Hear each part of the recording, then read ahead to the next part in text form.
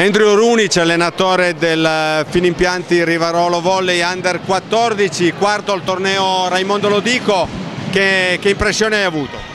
Bah, è stata una bella impressione, siamo cresciute molto dalla prima giornata, da quando ci siamo trovati dal primo allenamento direi, sono migliorate tatticamente, sono migliorate come carattere, come tecnica, sono molto contento.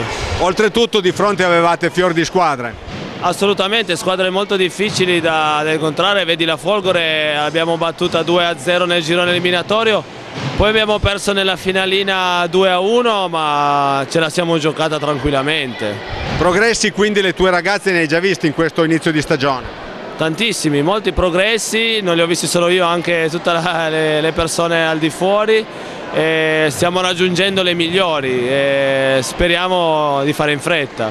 Che cosa ti aspetti dal campionato che sta per cominciare? Vabbè, il campionato sarà molto difficile per noi perché è il girone gold, quindi incontriamo tutte le squadre in teoria più forti e vediamo al girone di ritorno di, di essere, non dico pari a loro, però comunque vicino.